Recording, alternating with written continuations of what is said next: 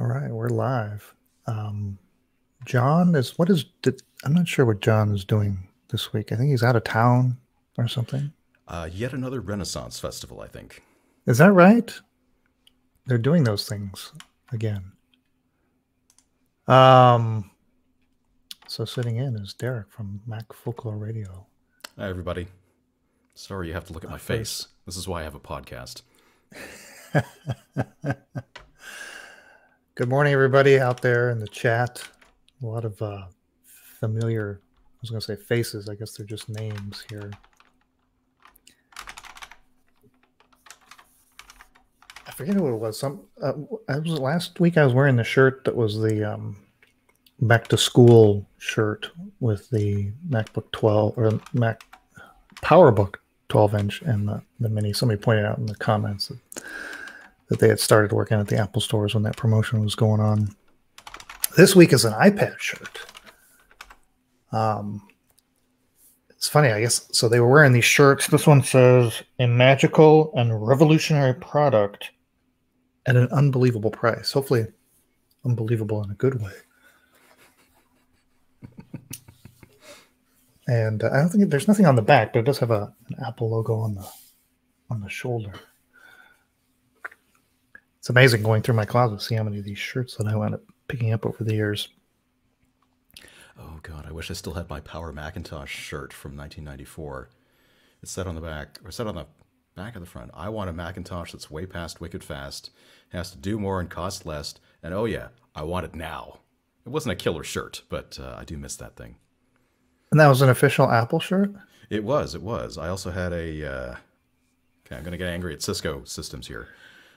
I helped out at a Cisco Networkers 1999 conference, uh, and I had a teal, it was iMac colored, Think Different shirt with the entire spiel on the back. yeah. And uh, Cisco did not want me to wear that on the conference floor, all the oh. student helpers. So they took our clothing and promised to take care of it. Everybody else got their clothes back. I didn't get my Apple shirt back. It's probably worth a mint now on eBay. so you had to walk home shirtless? Uh, I had to wear my stupid Cisco shirt home. All right, let's see. Let's go ahead and start the recording. You ready to go? I'll never be ready. All right. Oh, sorry. I have to boot up John emulation mode first. Here we go in three, two, one. Welcome to the Retro Maccast with James and John. This is episode 573 for June 6, 2021. No John this week. Derek is here. Good morning, Derek. Good morning. This is John Emulation Mode speaking. Derek, uh, you might remember him from Mac Folklore Radio. It's been some time. nobody remembers me from Mac Folklore Radio. My listen numbers did, are extremely depressing. What do they remember you from? oh, probably Maybe from, from this show. I, I don't know. we were looking it up. Uh, the last time you were officially on the show was November of 2018 where you provided an update. I guess you were you were sort of rebooting your podcast after a long hiatus, and then uh, you were you were you chimed in briefly when we were starting this this YouTube experiment last year. Uh, shortly May. after lockdown hit, yeah.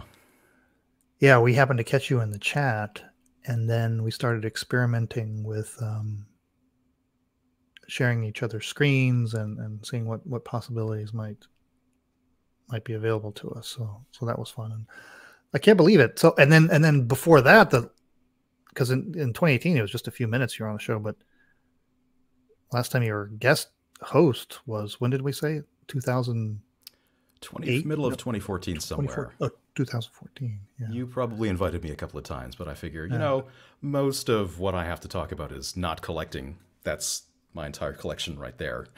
It's more about the history, uh, which uh, seems to be a little less appealing to people. Derek, um, in addition to his podcast, he is also, I was going to say the unofficial, maybe I should make you the official archivist of um, of our podcast. He oh, which reminds me, I should update the episode guide. I've done that in a few months. the episode guide. I, do you remember what episode you uh, first joined us as a listener? Oh, God. Uh, 2007, it was April. I was at a terrible job getting high off our own supply. I think we talked about the Mac 2 SI, which rhymes. So it was only, yeah, so it was only five months in to this. Wow. That was goes right. way You back. emailed me out of the blue and said, "Hey, I think we have a common audience. Never heard of you before." Those were the days.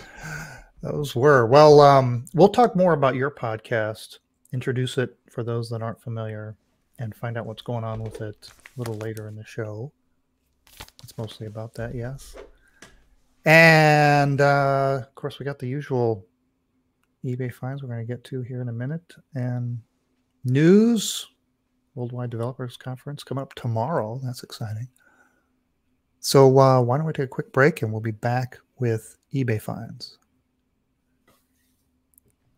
Right. I sent you a few links. I'll I'll flash them up here on the screen. I'm You uh, can. Uh, I'm honored, Steve. Thank you very much. Not too many people love my podcast, and uh, the few listeners that I have were original subscribers from 2006. I basically utterly failed to attract new listeners, and I just gave up. Really. well, at least you're not losing the old ones.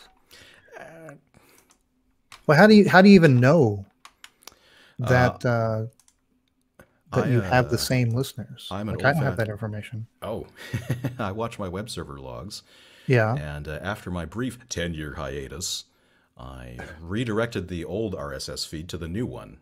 And I just I just thought that'd be like a convenience fallback thing. And I immediately had 500 people downloading my podcast that I didn't invite. I'm like, where the heck are these people coming from? Oh, they're coming through the redirect. These are people who are still subscribed from 2006. Oh, I see. Uh, so, like uh, Pale Ale, those who like it like it a lot, apparently. All right, let's uh let's get on with it. Steve has invited me to be another non photogenic guest on his show. Oh, well. we'll we, we, we need to talk, Steve. All right, let's uh let's go with eBay finds. Let's start in three, two, one. It's time for eBay finds. Last week, the iPhone sales training workbook. Look at that. Doesn't that iPhone look smaller? Those hands look big. I I don't know which it is, but uh this one got no bids. The auction ended. Starting bid was ninety dollars. Nobody thought it was worth that much. I hope everybody's read the article about why Apple products use 9:41 a.m. as the time. If not, you should Google that right now. 941. Oh my gosh. So you're not going to tell us. You're going to make people look it up. I might be sneakily concealing the fact that it's uh, six in the morning here, and I've totally forgotten the answer. hey, There is a reason. Yeah, there's usually a 14 reason. 14 years have passed since I've been on. We're old now. We're allowed to forget stuff. That's that's the uh the trivia question of the day. Why 941? All right. And uh oops, let's move along to the next one. Um another color classic. This one in Australia. We brought this one up because Michael was with us last week. 32 bids. Drove this one. and It's not even particularly good shape. I don't even think it was necessarily running, was it? Um, but it got up to 355 Australian dollars, which translates to about 275 US. Hmm. hmm And then the promotional edition of Inside Macintosh, AKA the phone book. The phone book. That one, what happened to that one? Did it sell? It says the listing has ended, uh, sold, yes, for $75. Okay, we will begin this week with this item. More training. Last week was the iPhone training. This is global sales training for Macintosh, and it comes to you in this little handy sliding card. Sell a Mac. From the minute a customer takes the Mac out of the box, to get the best user experience, Mac OS 10 is built to be easy to use, stable, and secure. And then it's got this little these little cutouts in the card. And so I guess you're supposed to slide this thing and, and it would highlight a picture on the product line. Like in this picture, it's showing MacBook. And then uh, it highlights for consumers why you would want this, for students and for business professionals, and what it includes in the box. And look at the beautiful production value on display here. This is classic Apple. I mean, if this were part of the retail packaging today, you'd get a post it note with a URL pointing you to read it on a web page somewhere. It wasn't necessary to, to create two cardboard outlines for the internal card, but they did. They could have just printed it on on a single sheet of paper and gone home. I know. No, they there's a put lot it on of nice cardboard stock and yeah. with a matte finish. I, I, I don't know. Would you like quiz yourself maybe on this? Because you certainly, if you were um, if you were in front of the customer, you wouldn't have this thing out in front of you to refer to. So maybe it was designed that you could um, test yourself on on this. So like here, Mac Mini. Um, it almost looks like uh, every computer is good for for everybody. I don't I don't see students under Mac Mini. I don't I don't know why. Because it only had 256 megs of RAM in the base model. and it even had uh, airport in there as well. So it was looks like it was two sided. Um, a cute little little relic, probably like you said, because you know many things have obviously have gone web based or or otherwise, you know, electronically. Um, I bet this was probably the end of an era, right? Of of things like this handed out to to train people on the product line because I mean this is fairly late. You're talking about OS 10, and um, so this they want a buy it now of forty nine dollars and ninety five cents, or you can make an offer. It ships from Bethlehem, Pennsylvania. Never seen one of these before. Yeah, kind of kind of cool little item there to set up next to your little Macintosh display. Do you think it's worth forty nine dollars and ninety five cents? Uh, for the Rabid collector, which clearly not. Uh, no way. no, I didn't. I didn't think so either. All right. How about this for the Rabbit c- collector? Ooh. A 20th anniversary Macintosh setup. Um, the description. Well, why don't you want to take this one? Uh, I, I I can keep reading. you keep reading, and I will. All right. Some snarky. This is this one in the title. It says the nicest you will find. It does seem to be in very good shape. It does. It says uh, comes with all accessories, software, original sales receipt. Which uh, does this mean this is original owner? Um, doesn't say that, but that's the implication. If if unless the receipt changed hands as well, you get the software, um, books, colored stickers, and the pens, remote control. It says there's not another TAM in this condition with all the accessories available on eBay or anywhere. Very exclusive item. There's one little scratch on the bottom left face. And this is the only blemish. Works well, powers up, um, been in temperature controlled storage. I don't see, no, no boxes though. That does sound like a serious collector. Uh, Steve Mac84 points out that uh, that looks like the black G- or that looks like the Geoport adapter, uh, the 20th anniversary Macintosh Gray Geoport adapter, which I didn't even That know is. existed. Thank you, Steve. Yeah, So you got the little pen set. Um, I took my pen set the other day, and the the plastic it started to degrade and get really sticky. uh, Um, one thing you want to look on this is for like fraying on the cords. I don't, I can't see a picture that, that goes in to show the the you know the the main connector between the subwoofer and uh, the the the rest of the computer. Um, this one, boy, they want a starting bid of four thousand seven hundred seventy-seven dollars. Tams haven't gotten that high yet, are they? I, can't believe. as somebody who hasn't looked at retro Mac prices lately, especially um, fanatic models like this one, that actually sounds quite reasonable. I don't think it is. I figured it would start at 10,000, something like that. Oh no no no no. I think um I think good good examples are still hovering in the thousand plus area. I know what people in the chat room says, but um that's uh seems a little steep. Unfortunately, there's no make an offer. So we um I, it's doubtful this will sell. We'll see. I mean, but these are always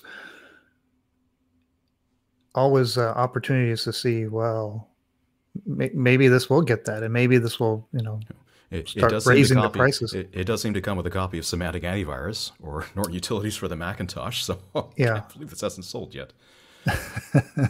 Uh, this was Gil Amelio's pet project at Apple. Did you know that? his pet project, really. Uh, so this is where I get to plug my podcast. This is I All love right. giving historical context to things. Uh, if you look wait, at the, wait, hold on one second before you say that. I, I switched it to the apron. That's our next auction. That, this is not his pet project, although it could have been also. I, I we're still talking about his- the tan. If only the apron had been his pet project, he would have screwed everything up at Apple in the 90s. Uh, but apparently, if you look at the uh, Computer History Museum's oral history of Jon Rubinstein, Apple's senior VP of hardware engineering, he said that was Gil's pet project, which he tried to kill a few times. Uh, it took more than three years to design. By the time it was finally ready to be sent off to manufacturing, many of the parts had been discontinued by the manufacturers, so they had to do lifetime buys on everything and there was zero, zero design for manufacturing, which is why there's 16 ribbon cables in the thing. So thanks, Gil. Yeah, and of course, Jony Ive worked on this. Oh, Steve Mac 84 points that even the introduction on stage of the 20th anniversary Mac was an awkward, uh, an awkward event. It hung and then simple beeped 20 times in a row. It's great. You should see it at WWDC 97 with Woz. All right. Now, the apron. Um, the title says Apple Computer Macintosh Authorized Distributor Apron from 1990. Uh, let's see. Unused item. It says it was a promotional apron of an Apple Computer Authorized Distributor with the names of Marubeni and Computer Wave on it. So on the lower right, I guess if you're looking at the apron laying down, you see those two companies, but it does have a six color Apple logo. It says Apple Computer Authorized Distributor. It's all white with uh, red um, ties and uh, the neck band. Um, this, I don't think that's that's not embroidered though, right? It's like a screen print. It looks like it's still screened. Sorry, I'm just having a moment of cognitive dissonance here. Why Yes. do Apple distributors get aprons? I'm not really sure what the theme here is. Yeah, I don't know.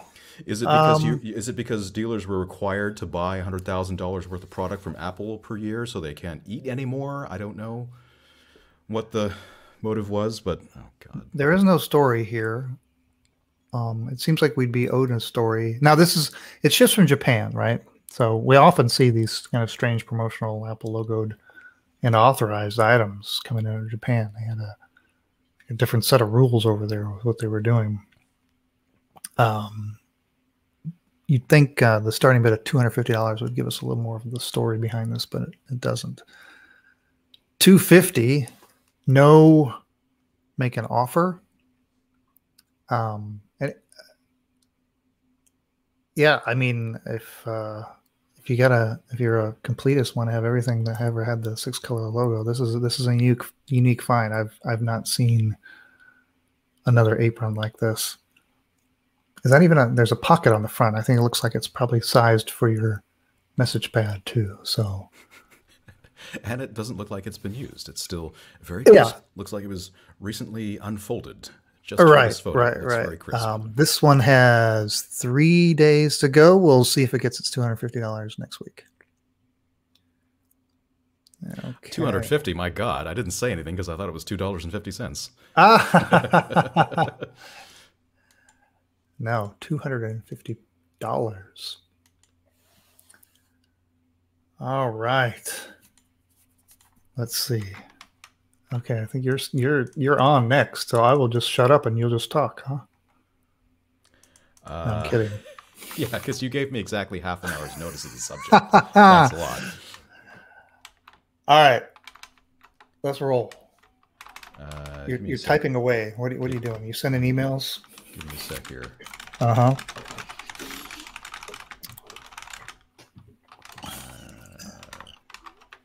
All right. Let me know when you're ready to go, and uh, we'll get going.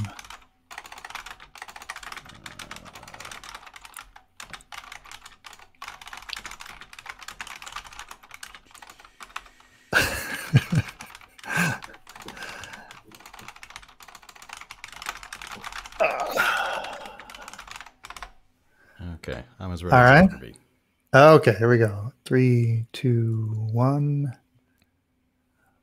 Well, like I said earlier, it's been a while since we've caught up with Derek in any substantial way. He's been cranking along at a pretty regular note. I think um, even better than monthly. You've been putting out episodes of the podcast for. a I number of aim for now. every three weeks or so. Uh, Three it- it- weeks. It, does take a long time to produce these things. Uh, Well, Derek is a perfectionist. A 10 minute podcast might take uh, uh, nine or 10 hours of recording, editing, post production. Uh, it's an audiobook. It's not just, uh, well, it's more than it's it's a little more than talk radio. So uh, Yeah. you want your audiobooks to be nice and clean and not have any mouth noise. Whereas you might be more tolerant of that in other situations. Right. And you have a you have a special room, right? You don't podcast from the living room or wherever you are now. Oh yes, an absolutely specially designed, acoustically treated room, aka my closet. Yeah. Yeah. Oh, well, but is the closet is it um it's not lined or, otherwise sound It- insulated? It is a garden variety closet. It's a great Oh, place to record uh, echo free audio so it doesn't sound like you're in a tiny metal box because there's lots of clothes in there. Yeah. Well, uh, you sound fine coming from the living room right now. I'm, I'm looking at the, your background. There's a couple of props there. Did you did you want to talk about what you have behind you besides the the furniture? If I touch my camera, I'll be able to focus. I have a, I have a StarMax. It's really hard to point at things that are reversed on the screen. Yes. StarMax 4400 200. So that's a PowerPC 604E uh, 200 megahertz clone from Motorola. Does that was that one that you was that one you absconded with from from a school or Uh, where did you get that one? From from my employer, yes. Yeah. When you when you work at a large public institution, uh, first of all, there's a lot of old junk lying, lying around, and then coworkers say, "Hey, look at this old PC I found," and I went, That's "There's no, eject PC. button. There's no eject button on the floppy drive. That could only mean one thing. My God, it's true." And then I saw the PowerPC logo at the bottom right. I'm like, "Wow, it's a 604E. All right." Uh, that's also how I got the uh, PowerBook 5300. It was sitting on somebody's shelf, and uh, Mm-hmm. I do have co- a compact flash card in there that's gone bad, so I can't boot it up. Uh, I'm in Hmm. the middle of recapping the power supply for the Star Max and plan Mm-hmm. to learn. Uh, um, I should go back and listen to your episode, John's recap recap, uh, to learn about uh, SMD electrolytic resoldering. Right. Well, anyway, um, MacFolkloreRadio.com is where you go to listen to Derek's podcast. And you've been putting out episodes since when? When, when was the first one? Do you remember? How far back does it go? I, I'm looking. I started up in uh, 2006, and that original run was just stories from Andy Hertzfeld's folklore.org. And that ran for three years until I got sick of that and moved on. Are those even available? Uh, they are. So there's a classic section at the top Oh, there it is. in the navigation bar, and you can download all my old terrible readings that you should definitely not listen to. I'm actually going back and rereading some of the folklore.org stories now that I have a little more experience and better equipment. Oh, Uh, and then publishing them in the main feed? Yes, that's right. I need to go and update the archives as well. Okay. Uh, but I started in 2018, and last year, when uh, we were all suddenly quarantined, I decided, oh, I better keep people entertained and crank out lots of episodes. it's on you. Yes. Yes, uh, it was entirely my responsibility worldwide. And of course, nobody was listening because nobody was commuting to work. Thus, podcast listenership globally was down anywhere from 10 to 25%, depending on who you listen to. So, Oh, uh, wow. but I hope somebody enjoyed them. Yeah. Well, anyway, yeah. So that that that book has has been the focus of most of uh, your audio recordings, but uh, you have been doing other things. Actually, Um, most of the new run is focused on editorials and interviews. Uh, Steven Levy had a Mm-hmm. great series of editorials in Macworld magazine called The Iconoclast, which is what I frequently read from. Uh, by the way, Mac User is, well, you already know. For the people who don't know, Mac User Magazine is also on archive.org these days and vintageapple.net. Thank you very much. And I'll be plucking out some editorials from there. And of course, David Pogue occasionally has hilarious reviews. The Printer in Seat 7A. This is all about portable printers. And this is one of the reasons why I'm passionate about bringing you history. Um, there are a lot of, I'm sorry to use the term, kids out there who are looking at old computer magazines and wondering how common things were and coming away with the wrong impression because, or in my opinion, the incorrect impression because they're just reading the Wikipedia article, article on things. I'm here to give you some real world, on the ground historical context from back in the day about these things. Uh, for example, did you ever see anybody at all throughout the 1990s with a portable printer? Uh, I can't say one. that I did. It was uh, that was a very a, very much a luxury item, at It least among was. regular It consumers. was. So I don't know why people pick up these things from Wikipedia or put them in there, but uh, they Yeah. do. And of course, this is reflected in David Pogue's tip number one, which my DSLR is not focusing on, saying uh, the best, one of the best options for portable printing is not to carry one at all. You could use your PowerBook's fax modem, if you have one, to fax your document to the hotel business lobby or business lounge or whatever. Which would give you much better output than some of the thousand dollar portable inkjet printers that just smeared all over the place. Right, right. That's funny. Good tip. Good tip. Yeah. Um, I was listening earlier. You had your your um, reading of David Pogue's PowerBook Duo and Duo Dock review was was interesting. Um, I do love the sneaking around at Apple and garbage bins uh, set of articles, Code and Dagger and the Dirt on Apple Security, about the new Prometheus League, yeah, the start of Apple's culture of secrecy, which is what we think is destroying the quality of macOS today, unfortunately. and I liked that. And I, I was actually I was listening to uh, Quick Hide in the Closet um, this morning, and um, and he had the little uh, audio clip of Bill Gates there at the beginning, um, which I, which I love that that uh, ability to, to pull stuff like in there, and then you have almost like a little little audio documentary. Yeah, Of I uh, so t- uh, plugging my podcast, the Road to Mhm. Power Macintosh has about uh, seven minutes worth of, of audio clips of interviews with uh, the guy who wrote the 68K emulator for the first Power Macs, Mm-hmm. uh, and it also talks about how Apple was not alone in that Sun Microsystems also got fed up with Motorola in the 1980s because it took them, you know, six years to fix the fact that there was no memory management unit, you couldn't take page faults. Uh, so they decided to design their own processor. Uh, and the Why Did Apple Kill Newton article, I think that's got about 15 minutes of audio clips uh, of interviews with people.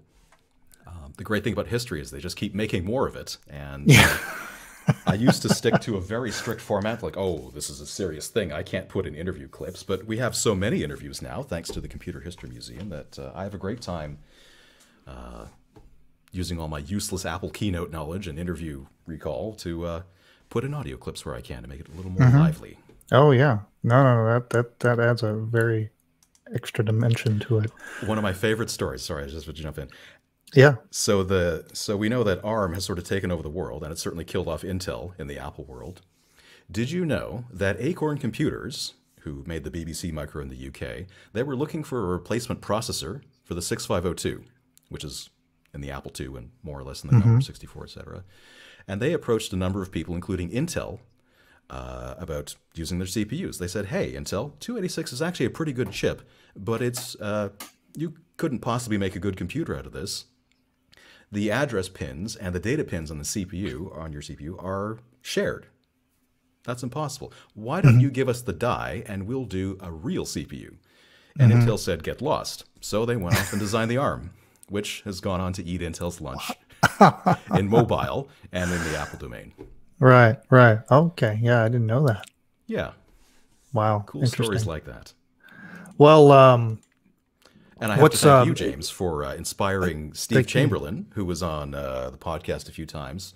I think your interviews with him went on to inspire him to write uh, the history of Tetris Max, which I also read. I think it was last May. Story of Tetris Max. oh, interesting. Okay. Thank you.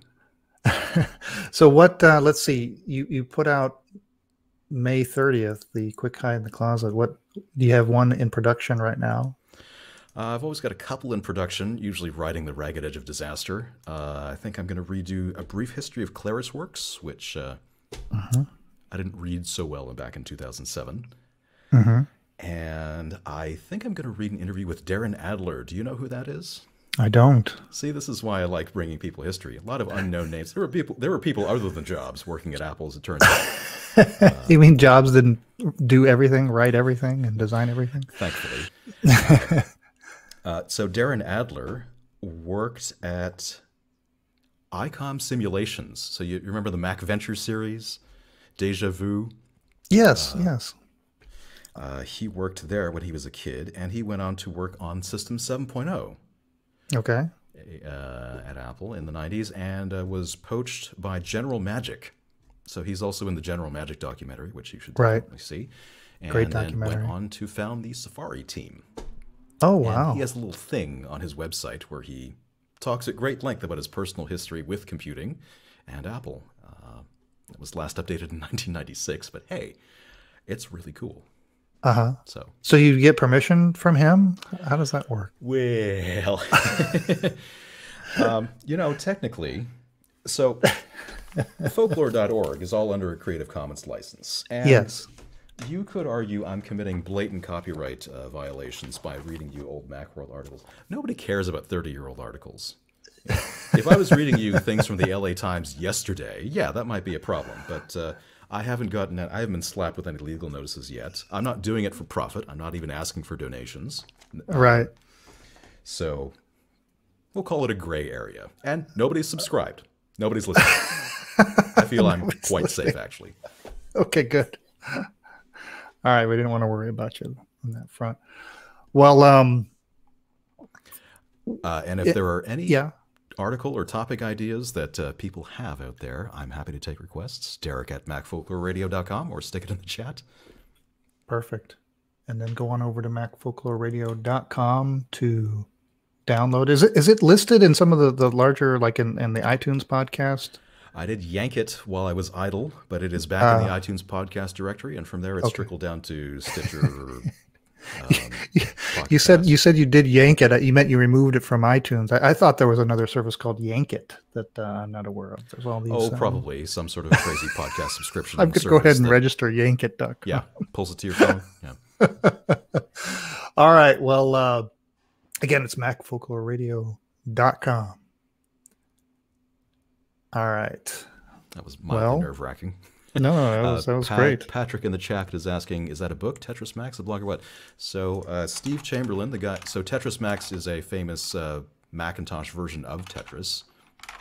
Uh, it was huge in the '90s, written by Steve Chamberlain, the guy who does Floppy Emu, uh, and he wrote up the story of how he.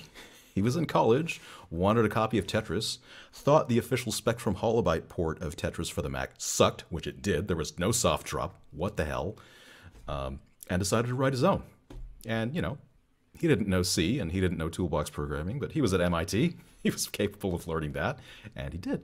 And unfortunately decided to call it Tetris Max rather than something else, which got into a bit of, Get got into into trouble. a bit of trouble later. Yeah, yeah. All right. Well, let's uh let's move on to some news. Oh, Steve Mac84 just said he emailed me. Thank you very much, Steve. That's, uh, I think that's like the fifth email I've gotten about the podcast this year. All right. Fourth. Gonna let's start in three, two, one.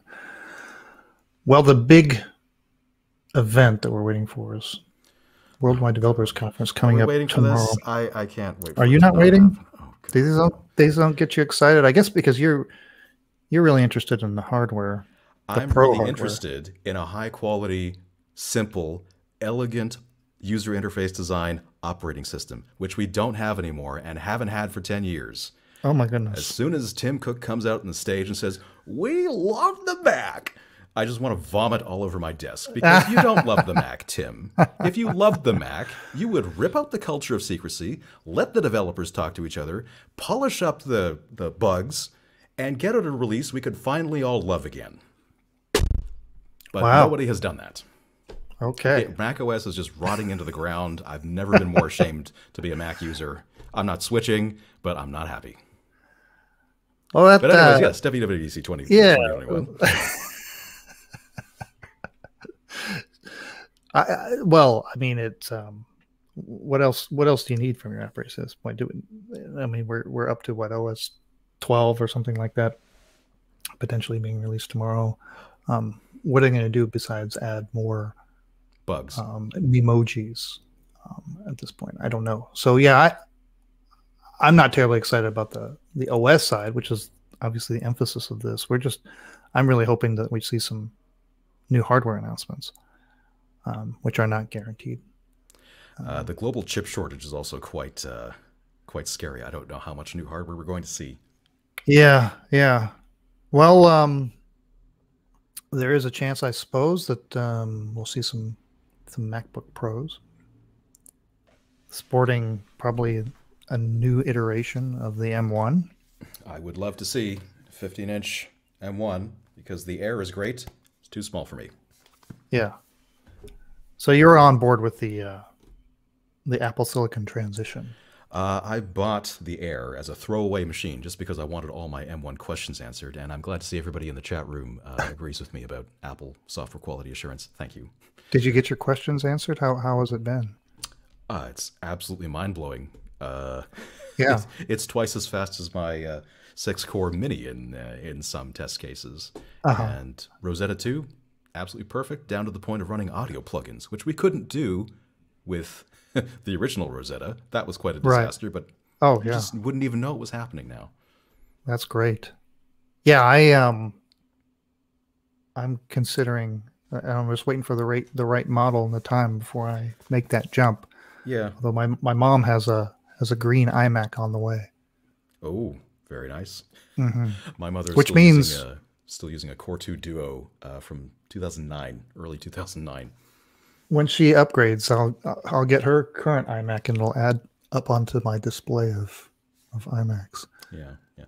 One of the reasons I didn't want to buy an Air was that I figured it'd be underpowered. This thing is so fast. Mhm. The SSD writes at three gigs a second and reads at 2.4. Don't ask me why it reads slower than it writes, but it's just unbelievably fast. So uh, I was gonna just sell it, but it's so good, I think I'll keep it, uh, even after they release a 15-inch M1. Right. I could do with a 15 inch Air, Apple, if you're listening. We just heard Steve Jobs actually propose that in 2007, but uh, oh well. Yeah. Well, speaking of Steve Jobs, there's an article over on. Uh, actually, I'll switch over here on Inc. 14 years ago, Steve Jobs sent the most important email in the history of business. So, Apple just uh, concluded their participation in this um, little legal battle, right? That they're they're involved in with Epic over the terms of the App Store. Of course, Epic tried to sidestep some of the uh, the conditions to which they had um, signed up for.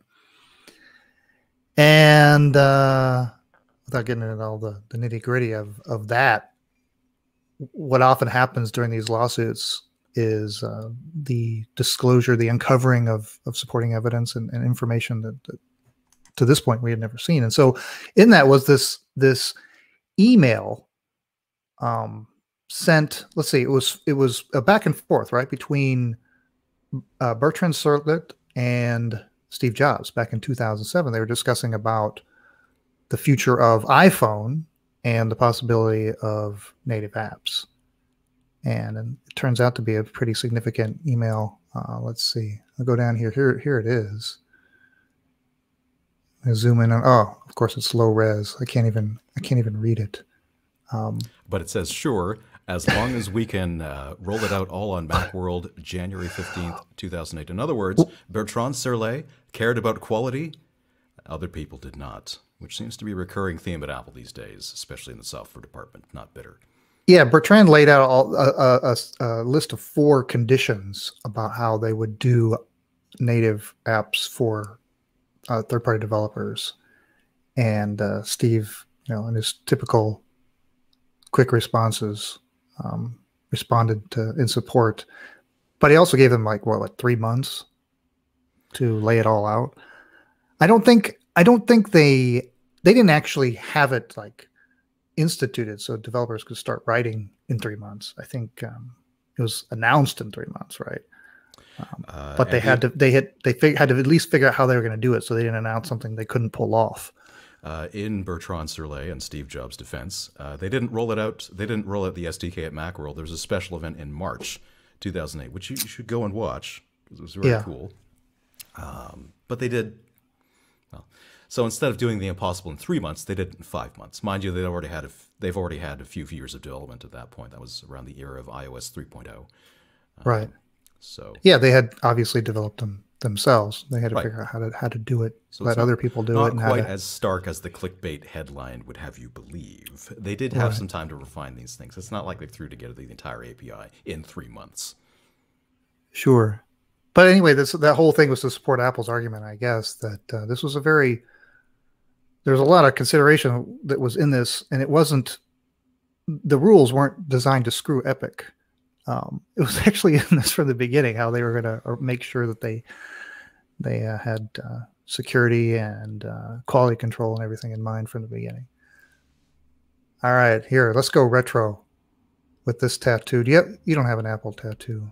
Yeah, uh, I don't have any tattoos. I'm just not that kind of guy. Sorry, I just want to point out the chat room is already debating how yeah. long it's going to take to collect all the colors of every all of the new M1 iMacs. Uh, you people are crazy. How long is how, how long is for who to collect for well, any of us? I don't know. Depends on how rich you are, I guess. Yeah, you could do it right now. Just just put your put your orders in. Um, it would be cool to have them all, but at what price? You know, it's going to take a long time before those those lose much of their value. I mean, we've we've seen how long um, modern Macs keep their value and their usability, right? I mean, you can heck ten years old and it's still pretty useful. These minis, I mean, these um, excuse me, these M1 Macs probably will last even longer because they're already starting off so powerful. So yeah, I think it'd be a while before you're you're picking up these colored iMacs for you know twenty bucks plus shipping. Come back um, episode three thousand. We'll talk. Yeah. well, anyway, over on um, Reddit, the who's the the person? It's it's Intrepid Interview Six. Got a tattoo.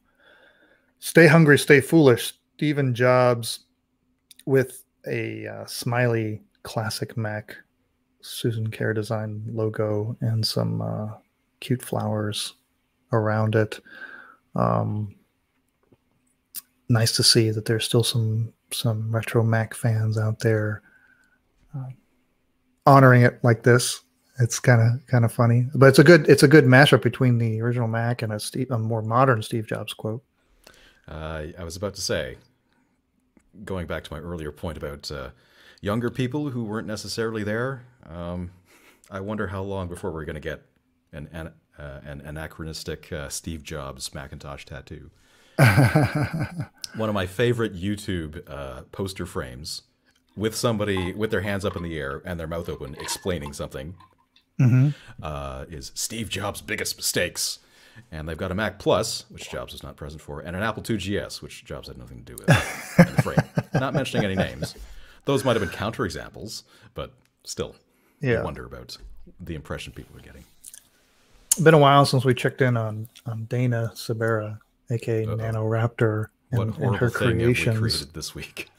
oh, you don't remember this one? Uh, I think this was in the late '90s. Oh, this was sorry, the Apple. I just, I just saw the I just saw the bunny ears.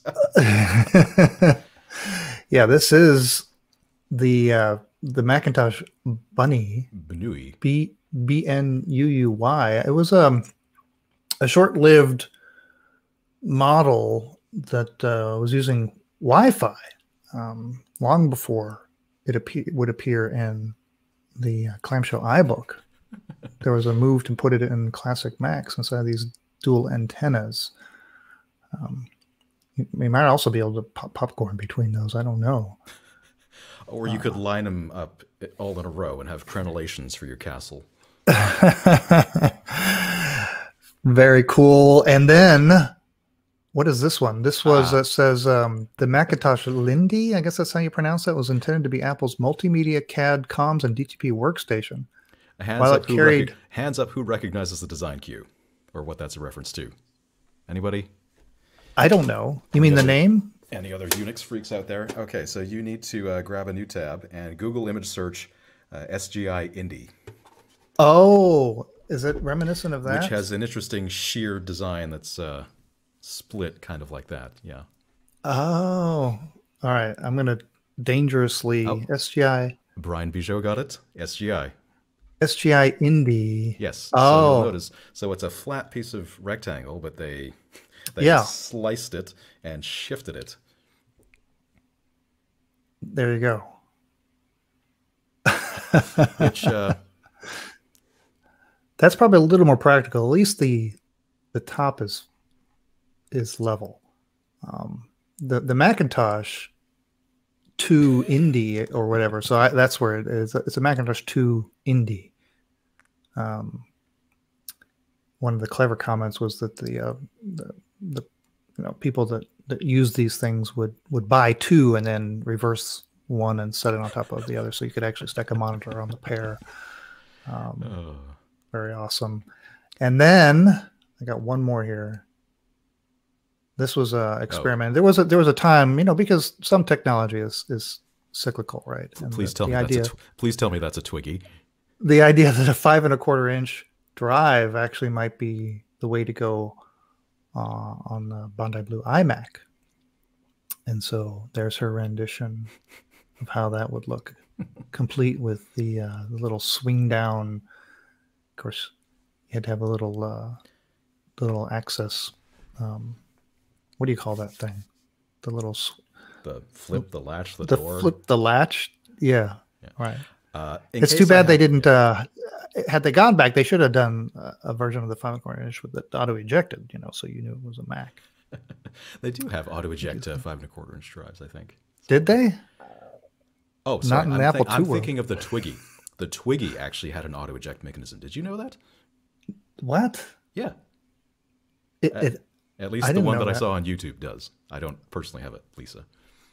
all right. Uh, in case I haven't encouraged people to go out and listen to the Computer History Museum's oral histories, Jon Rubinstein, senior uh, hardware engineering VP, talks about a story where he was in a meeting one day and he got a call from this insane person shouting at him, like shouting obscenities at him on the phone.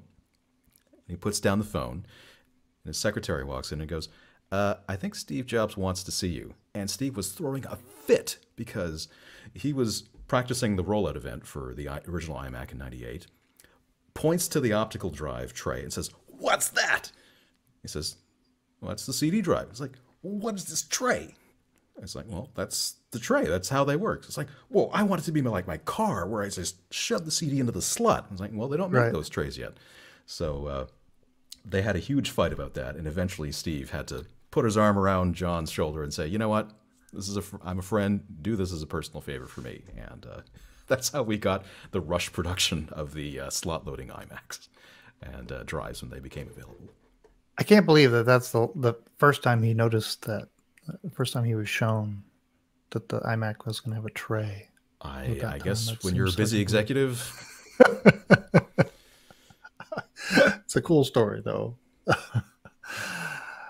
All right. Uh, again, you can go on to Twitter and follow Dana at NanoRaptor. She's coming up with these these cool creations all the time. And many of them, not not this one. A lot of them, you'll scratch your head and say, "Gosh, I don't remember that." And there's a reason why you don't remember it because it never existed until it did in in her mind.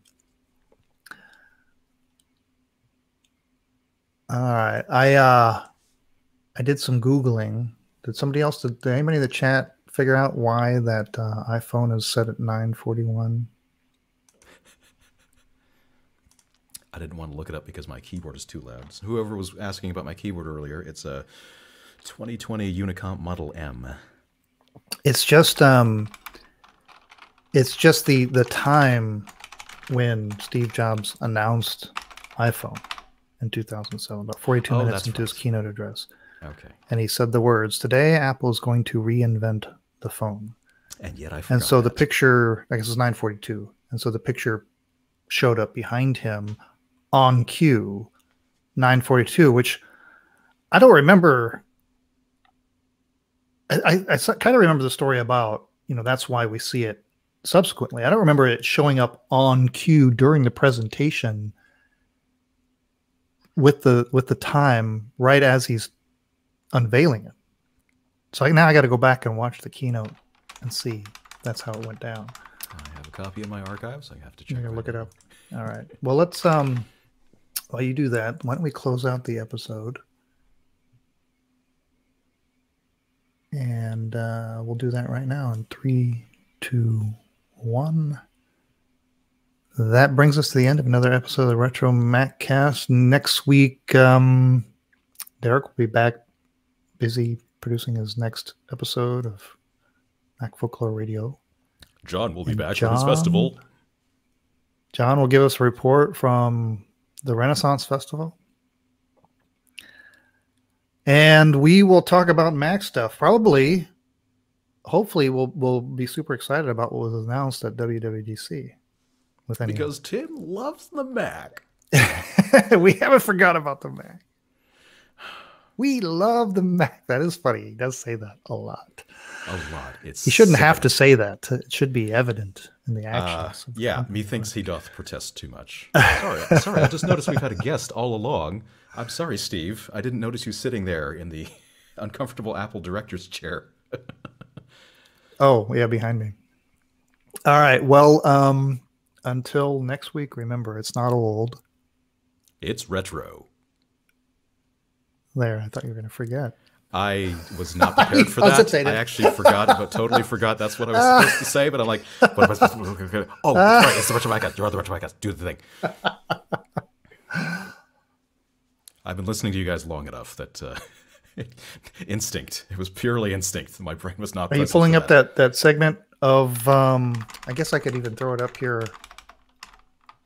in the screen here about the the, the exact moment when Steve Jobs announced iPhone. Oh, it's sad. All these keynotes that were worth watching back in the day. iPhone announcement 2007. Let's fast forward to the end. See, this is why I wasn't looking for it earlier. 42 minutes in. Is what they say. I'm gonna find it. oh yeah. So 42. So 41 minutes and 45 seconds, but the clock says 9:55. What? So you're so you're right. Yeah, I'll send you a. I guess I can I paste pictures in here.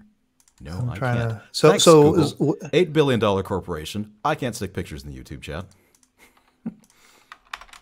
I, I, I am scrolling through the slides and I, I see it first displayed. I don't see the image where the where the time is displayed on it. Okay, I'm going to save this as a JPEG, stick it on my website, and stick the URL in the chat. Take that, Google.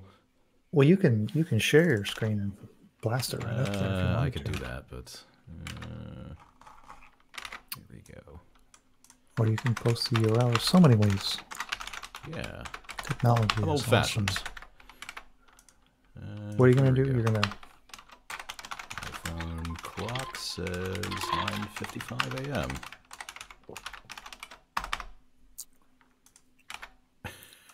Steve says if photos could be in YouTube chat, I'd quit being a YouTuber. We probably right.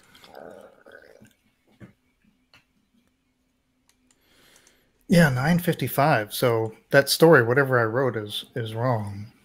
Uh, maybe that's why I forget. Uh, that's going to be my legitimate excuse for forget- forgetting the reason. So they must have they must have gone back and figured out exactly. Well, that's the, then then that's the the task is to see. Okay, well, according to the actual time on the clock, when did he say those words? Uh, public service announcement on behalf of my friend Mike. If you buy a BlueSCSI kit, that means you get a kit of parts, not something that you can snap together. So, uh, Mike, I've soldered your BlueSCSI. It's ready for you to pick up anytime. Oh, did you post a link in the Oh, chat? links don't, links don't show in the chat unless you're a host or a mod. Thank you, Steve84. I'm a very inexperienced YouTuber. I'm going to stick some spaces in. Ah, crap. so you could Skype it to me. Slash media slash clockfail dot jpeg. There, I one of those might show up. I could Skype it to you. That would, You be the Skype smart, that would be the smart thing to do. Oh, I could just send you the picture. For crying. Or send me the picture. There we go. Yeah, that would work too. Oh, you sent it to me and to Oh, yeah nine John. fifty five. Right. Hmm. Well, mystery solved.